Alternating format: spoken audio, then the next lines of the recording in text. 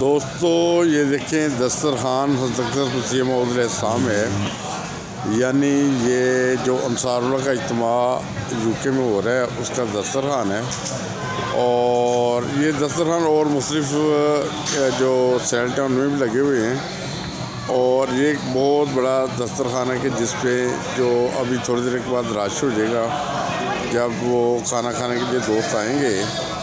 और ये देखें इस ये देखें एक तो ये दस्तरखान का ये है कि यहाँ से वो जरदा वगैरह मिलता है, जरदा वगैरह डाल के देंगे। इसके अलावा आगे अगर जाएँगे तो आपको मिलेंगे नॉर्मल आलू गोश्त वगैरह, यानी खाना, बेहतरीन खाना है। और खाने को देखें कि किस मनज़म तरीके के साथ जो है ना मेहमानों के लिए दस्तरखान सजाए गए हैं। कि यानी मैं अभी आपको दिखाता हूँ, एक बहुत बड़ा दस्तरखान है। तो यहाँ से लोग आते हैं और खाना खाते हैं और जो बुज़ुर्ग हैं, यानी चालीस साल से अबव जितने भी होते हैं, साठ साल, सत्तर साल अस्सी साल, वो सारे यहाँ पे आते हैं, खाना खाते हैं और उनके खाना खाने के लिए ये देखो बेहतरीन इंतज़ाम है। रोटी भी पड़ी हुई है, चावल भी होंगे, आलू गोश्त भी होगा, सालन भी होगा मुख्तु किस्म के मैं दोपहर को देख के हैरान था कि सलाद तक दिया गया था खाने के लिए ना। और ये पानी भी जैसे कि देख सकते हैं, पानी भी खार टेबल के ऊपर पड़ा हुआ है। और उसके बाद जो खाना भी बेहतरीन खाना, अभी थोड़ी देर के बाद तकसीम होगा। और ये खाने को तकसीम करने के लिए वो नौजवान जो है, वो अंसार जो हैं, वो ड्यूटियाँ दे रहे हैं। और अभी ये ड्यूटी के लिए रेडी है। अभी जो कार्रवाई जा रही है अजलास की। तो अभी ब्रेक है। ब्रेक के दरमियान ये सारा सारा अलकुम ये अच्छा नहीं, मैं वैसे दिखा रहा हूँ कि ये अब बहुत अच्छी तरह खाना खिलाने का इंतज़ाम है। अच्छा मैं कि खाना खिलाने का बहुत अच्छा इंतज़ाम है। मैं दोस्तों दिखा रहा घर और ये देखिए, ये नौजवान, यानी है तो अंसार हैं, मगर अपनी ड्यूटियाँ दे रहे हैं। ये लकड़ी के चम्मच इस्तेमाल होते हैं इधर ना। लकड़ी के चम्मच कि वो अच्छा अच्छा ये अच्छा दाल है लंगर की। अच्छा लंगर की दाल। लंगर की दाल है माशाल्लाह बहुत पिछले सौ साल से चल रही है। अच्छा माशाल्लाह। जी जी अल्हम्दुलिल्लाह। माशाल्लाह। तो ये मसीह मौद के वक्त की कादियान से शुरू हुई है। अच्छा। तो वही लंगर की दाल अभी भी उसका रेसिपी भी वही है। रेसिपी वही है? वही रेसिपी है वही अच्छा। दाल है वही रेसिपी है। सही। हाँ जी। सिर्फ़ उधर देगों में पकती थी और देशों में पकती सही जबर ज़बरदस्त। वो बहुत शुक्रिया ये देखिए माशाल्लाह। ये नॉर्मल वंसर की जमात है, तकरीबन वो वो ड्यूटी कर रहे हैं उस इलाके से जा रहे हैं। तो ये दाल के पतीले रेडी हैं। अभी इस वक्त मेरे दाल है। अभी थोड़ी देर पहले गोश्त था, उससे पहले सुबह के टाइम पाए तकसीम किए गए थे। ये दोस्त ड्यूटियाँ कर रहे हैं, यानी अभी रेडी हैं। तो अभी वो दोस्त आएंगे फिर इंशाल्लाह खाना खिलाएंगे शेख साहब बहुत नाइस आदमी शेख साहब से मुलाकात तो होती रहती है अच्छा शेख साहब जे माशाल्लाह शेख साहब ने माशाल्लाह बहुत ज़्यादा ड्यूटी देंगे ने ਇਹਨਾਂ ਦੇ ਦੋ ਤਿੰਨ ਕੰਮ ਬੜੇ ਅੱਛੇ अच्छा ਡਿਊਟੀ ਦੇਣਾ ਇਹਨਾਂ ਦਾ अच्छा ਜਿਹੜਾ ਇਹਨਾਂ ਦਾ ਕੰਮ ਬੜੇ ਵੀਆਈਪੀ ਫੋਟੋ अच्छा ਹਰ ਬੰਦੇ ਤੇ ਜਾ ਕੇ अच्छा ਠੀਕ ਹੈ माशाल्लाह ਆ ਦੇਖੋ ये ये मांगड़ साहब हैं मांगड़ साहब माशा मांगटों से तलग रखते हैं। हमारे जो अरशद मांगड़ हमायों मांगड़ आपके वो लगते क्या हैं? वो अपने दोस्त ही हैं अज़ीज़ हैं। अज़ीज़ हैं फैमिली में फैमिली से जो मर्ज़ी तुम ला दो ला दो अच्छा सही ठीक है सही। तस्वीर खा लिया ये ये कोई बात नहीं कोई बात नहीं। अच्छा ये देखे माशाल्लाह ड्यूटियाँ कर रहे हैं दोस्त। हाँ। हाँ।, हाँ।, हाँ। जी। सही। सही। ये दोस्त अच्छा। अच्छा। अच्छा असलम और भाई माशाल्लाह तुम ड्यूटी कर हो? अच्छा। ਖਿਦਮਤਾਂ ਕਰੀਦੀ ਆ ਖਿਦਮਤਾਂ ਮੈਂ ਮੈਂ ਕਹਿੰਦਾ ਕਿ ਐਸਾ ਦਸਤਰਖਾਨ ਮੈਂ ਕਦੀ ਨਹੀਂ ਕਿਤੇ ਦੇਖਿਆ। ਯੂਕੇ ਦੇ ਵਿੱਚ ਇੱਕ ਟਾਈਮ ਦਾ ਖਾਣਾ ਖਾਣਾ ਬੜੀ ਮੁਸ਼ਕਲ ਹੁੰਦਾ ਹੈ।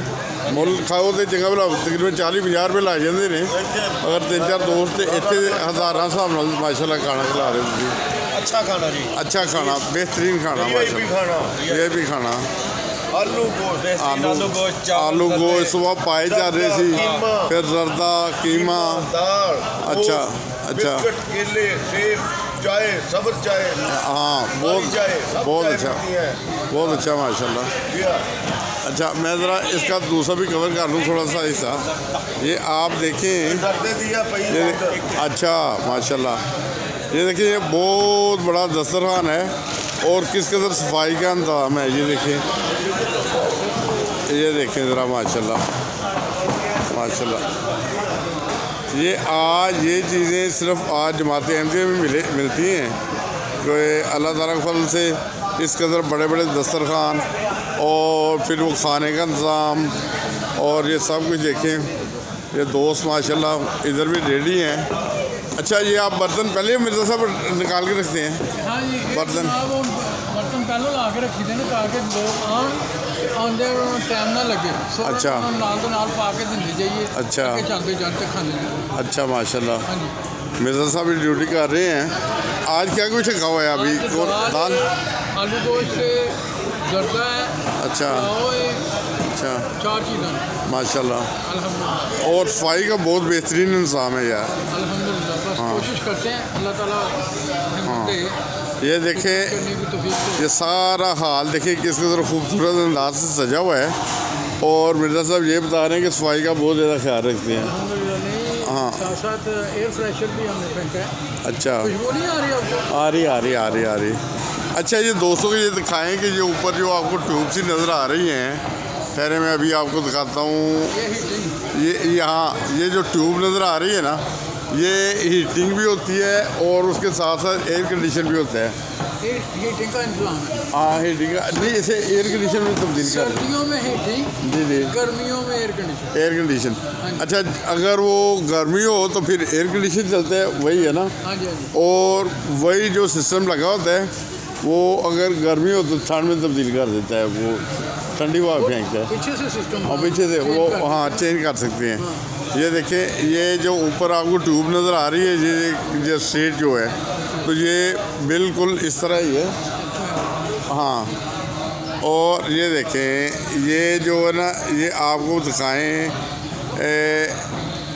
ये जो ये जो सेल्ट के इधर बाहर से आ रहा है ना, इधर बाहर एक वो मशीन लगी हुई है और मशीन जो है ना, वो उसमें से ठंडी हवा भी आती है, गर्म भी। अभी ये देखें कि कैसी हवा की ज़रूरत है। ये जो बाहर से आ रही है ना, ये गर्म हवा भी फेंक सकती है और ठंडी भी। ये जो ट्यूब लगी है ना, पूरे जो ये सेल्ट को ना अगर ठंडा करना चाहे तो ठंडा हो जाता है। ये देखें दूसरी ट्यूब ये है। ये बाहर मशीन है। अभी मैं देखता हूँ, कोशिश करता हूँ बाहर जाके आपको मशीन दिखाऊँ। अच्छा ये जो अभी आपको मैं मशीन बता रहा था, ये है, इसमें हीटिंग का सिस्टम भी है और ठंडा करने का भी सिस्टम है। ये मुख्तलिफ़ खैमा जाते हैं, उनमें ये मशीनें लगी हुई हैं। और जैसा कि आप देख सकते हैं कि वो पाइप जो है वो सेल्ट के अंदर जा रहे हैं। और ये जो सारे सेल्ट को ठंडा करने की भी सलाहियत रखती है, गर्म करने की भी सलाहियत रखती है।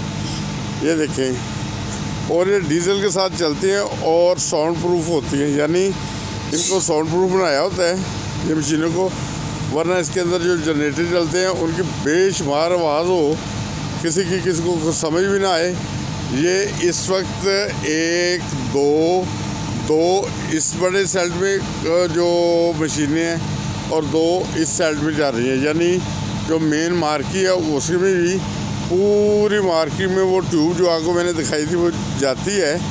उसमें सुराख होते हैं और सुराखों से वो ठंडी या गर्म हवा फेंकने की सलाहियत रखते हैं। ये देखें।